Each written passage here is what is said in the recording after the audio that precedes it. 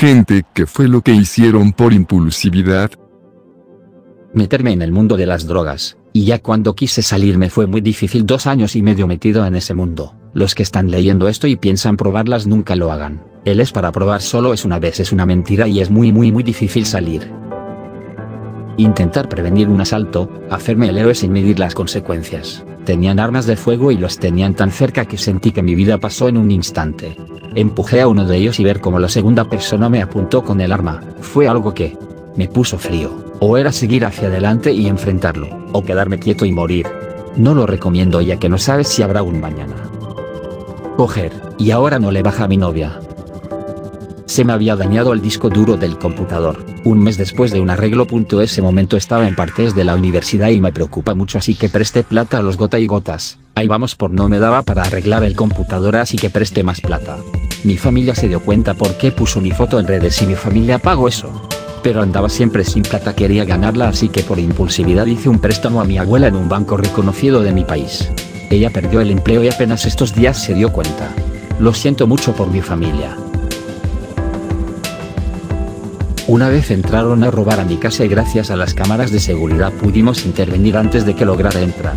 Un mes antes compré una pistola para la vez que un ladrón quisiera entrar, pues fue esta la oportunidad. El caso es que lo agarramos pero antes de que llegara la poli fui a ver qué hizo en mi casa y el mendigo macheteó a mi perro. Regresé muy enojado y con la pistola en la mano y sin pensar le disparé al ladrón en el pecho a 1.5 metros de distancia y le dije, estaba por mi perro. Tanto mi perro y el ladrón no sobrevivieron y ahora tengo carga de conciencia. Cabe mencionar que el ladrón ya había robado mi casa cuatro veces y mínimo si nos robó unos 15 mil dólares en artículos, iPad, televisión, bombas de agua, etc. Mandar nudes a desconocidos de internet XD. Dañar varios audífonos, un celular, un Lego, un despertador, rasgar cuadernos, pintar mi cuarto, gritarle a mi hermano, prima, papá, abuela, ir a la casa de un desconocido en modo cita, yo tenía 15 y él 30, y besarlo, mi primer beso, darme golpes y aruñarme. Arrugar, y casi destruí mi título de técnico medio en contabilidad general, después de que me habían pagado una cantidad miserable por un trabajo anterior. Me confirmaron de un lugar en el que había hecho una entrevista que no me habían aceptado, entonces agarré ese título, lo arrugué y lo agarré a patadas. Si no fuera por mi mamá, ese título hubiera sido utilizado como papel higiénico. Golpear a un amigo. Estaba en la primaria. Era un día normal y corriente, era la hora de receso y estaba jugando en la cancha. Ahí estaba mi mejor amigo y otro de sus amigos.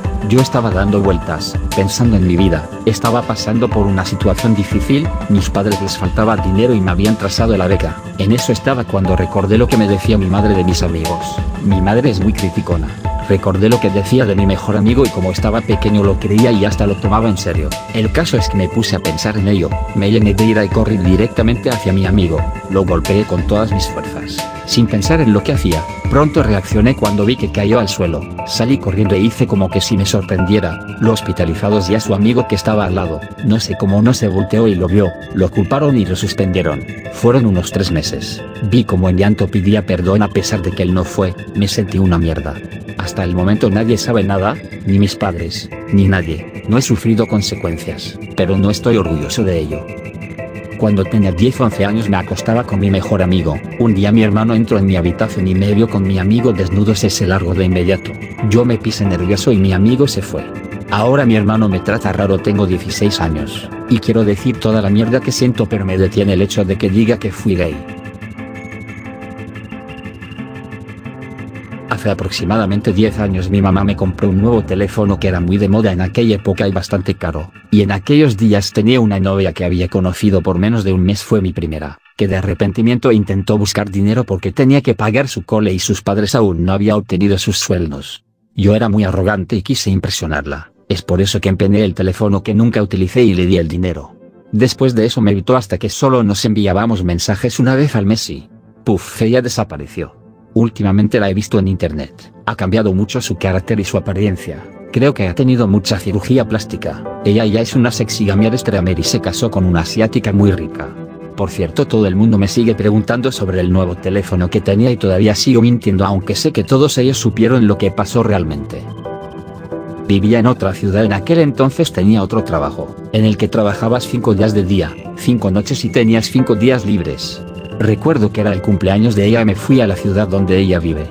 Mis días de vacaciones se habían terminado y me llegó un mensaje diciendo que me iban a correr por faltar ese mismo rato descubrí que aquella chica tenía encuentros con alguien más.